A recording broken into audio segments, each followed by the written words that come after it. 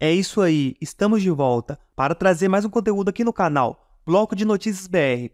Mas antes, eu quero pedir a todos que se inscrevam no canal, deixe seu like e vamos para a notícia.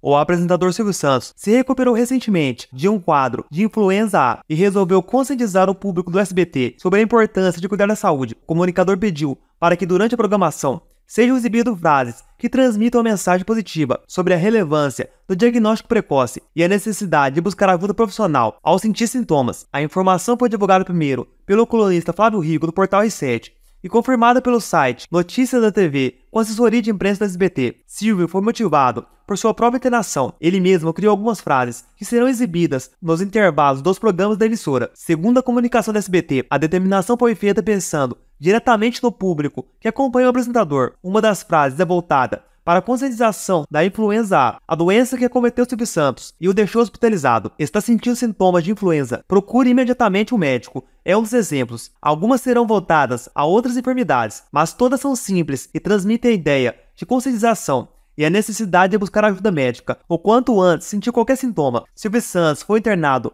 no último dia 16 de junho no Hospital Albert Einstein, São Paulo, após receber o diagnóstico de influenza A. A doença é uma mutação do vírus da gripe que, segundo o Ministério da Saúde, pode levar a problemas mais graves em crianças e idosos.